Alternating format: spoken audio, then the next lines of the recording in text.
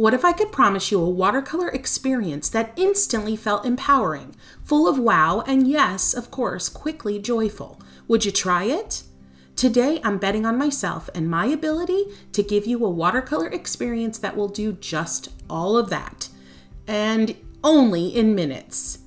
Anything other than white paper for watercolor probably seems a bit odd. I mean, watercolor is sheer and needs contrast to show up, right?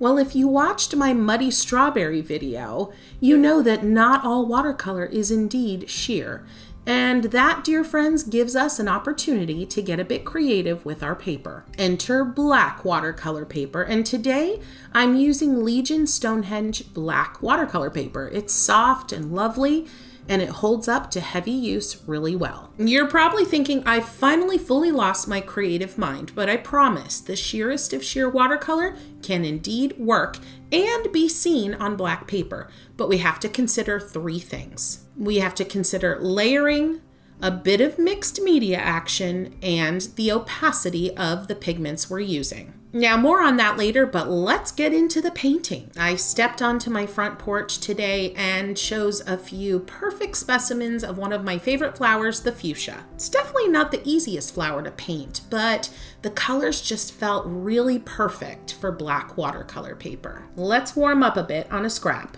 Grab your favorite pigment. Don't worry about if it's thick enough, opaque enough. I'm using a pink from my Art for Joy's Sake palette, and immediately I can see this paint has some creaminess. But I notice quickly as I layer more paint on, the opacity intensifies quickly. Add a little water to my brush and spread that color out to see what happens. Whatever palette you choose to use, you might want to ahead and swatch the entire thing out on a scrap of black paper just to see where you're at with the opacity of what you're about to use. Now, this is key. Remember, I said earlier, you want to be comfortable with a little bit of mixed media action for watercolor on black paper. So, grab whatever you have. Maybe it's white gouache, maybe it's bleed proof white, maybe it's white watercolor, or maybe some acrylic you have laying around. And I want you to take a look at what happens when you dab a little bit of that into the wet areas of your swatches. Adding a little bit of white is going to be key if you really want to get intense contrast with your watercolor mixtures on black paper. And you can perfectly see that on these leaves that I've just painted here for fun. It's also a good idea to practice a little bit of lifting on the black watercolor paper to see how pulling some color off with a clean, damp brush affects the color left behind on black paper. We're probably pretty well aware at this point what happens when you lift from white paper, but the effect is really different on black. If you want a little more info on which white medium to use, I'm going to link a video below. You're definitely going to want to check it out. I would suggest pausing right now and watch it and come back. I'm grabbing that bright pink from my palette with my dagger brush, press, curved, drag, and lift fairly quickly, and then a little dab just above it. And I'm keeping that brush loaded heavily because I really want this color to show up without too many layers. I'm familiar with working with this paper, but one thing I know is that it soaks in the color pretty quickly. So as I'm adding the purple here with some downstrokes of press, drag, and a quick lift, for the bottom part of the fuchsia, I'm again making sure to keep that brush loaded with lots of juicy color.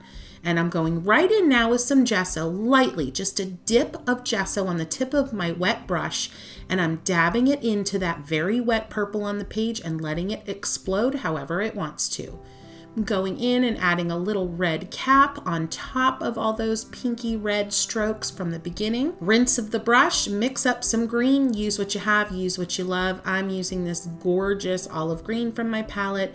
With the tip of my dagger, I'm creating a little green cap. And again, all of my strokes here, I am laying down the color thickly. So when I say juicy color, that means about 60 to 70% pigment and the rest being water on the brush and you're gonna reload often. Just a quick tip for you, I'm painting this flower slightly larger than real life, but if you're a little nervous about this, I would go even double or triple real life size so you have lots of room to move. And if you're curious of the why behind painting a bit larger, I'm gonna link a video below all about painting items larger on a smaller space. So remember from earlier, painting on black watercolor paper, you have to be willing to layer add that initial stroke of color heavily or multiple times closely together is one way of layering. And then, of course, be open to mixed media. That's me dropping in little bits of gesso here and there to boost the contrast of the color on the page. And yes, the white will certainly kind of pastel down the brighter color that's why I use the white gesso sparingly. Going in with my liner brush loaded with a little bit of green and gesso, notice I am purposely keeping gesso off of my watercolor palette because the gesso will contaminate the palette and make it really hard for you to use your colors. So use a little dish as your mixing tray for gesso. Back to my quarter inch dagger, loading that up with just a lot of juicy green and doing some press and lift, very little drag on either side of that thin stem for some leafy moments. And by varying the width and the length of these leaves, I'm getting a look that some leaves are facing forward and some are facing side view. See, I'm going back into my gesso palette and boom, going right in with a few strokes with the tip of my dagger brush. That's going to give some detail and also some contrast and highlight. So friends, see how satisfying this is so quickly? Because bright color, more opaque use of watercolor on the page, on the black page, is so satisfying instantly. Is this a traditional use of watercolor? Mm-mm. Is this a purist approach to watercolor? No. But is the watercolor vibe still very much present on this black paper? Absolutely. And that's really exciting to me, and I hope for you as well. Going in with my dagger, adding a few downstrokes with a lot of juicy red and pink mixed together on my brush, and then a dab of gesso wet on wet at the very top of that shape I just created, and then a little cap with red. The thing I love about the shapes of buds and fully bloomed fuchsia is that their structure is easily repeatable. If it's a bud, it's kind of a, an oval with a little cap on the top. And then if it's in full bloom, you've got these few sprays of one color of petal and then downward sprays of another color of petal. And then you've got a colored cap and a green cap.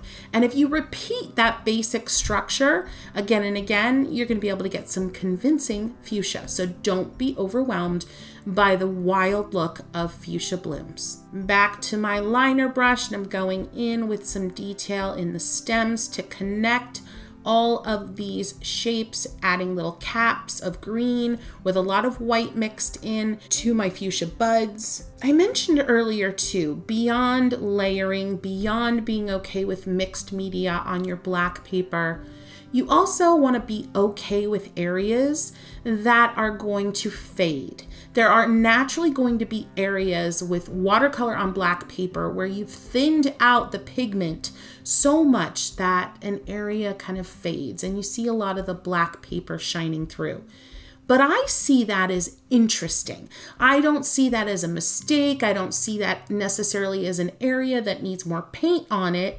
I see that as a shadow or just a really interesting area of my painting. If you're curious about my press, drag, and lift technique with the dagger brush, I'm gonna link a video below. It's a good one and it's gonna give you a great overview of this technique. Okay, okay, let me know in comments who is in love with fuchsias just as much as I am. Give me a oh yes exclamation point if you are. And since you're already down there, go ahead and give this video a boop. Yep, That's a like and it really helps out my channel. I do recommend letting everything dry once you have your first layer of watercolor and your mixed media element. Mine was gesso, maybe yours would be gouache or something else. Let that first layer dry. Now I'm going pretty simple today, friends. I'm not gonna lie, but let it dry, see where you're at. Maybe you need to add additional layers or maybe you're just ready for your final details. This is not a realistic detailed painting today, but I am gonna go in with some of my signature linear moments with that liner brush to finish things off. So going into the bright, bright pink with just a dab of gesso on my brush, and I'm just going to do some thin, wispy downward strokes on a few of these buds. It's a low contrast detail because I want to preserve what sheerness I already have on the page, but it's just a little something something that gives this painting that extra oomph of contrast that we need at this point. And friends, if you're curious about using this liner brush, I'm gonna link a video below so you can check out all the wonder that is the liner brush. Okay, who is ready to chase that joy that this technique brings? Let me know in comments if you're gonna give watercolor on black paper a try and what you plan to paint first. I've just gotta know. Continuing adding some details, and in the details, I'm admittedly using more white than I was with the base layers in the first moments of the painting. My first moments were all about juicy, heavily pigmented watercolor.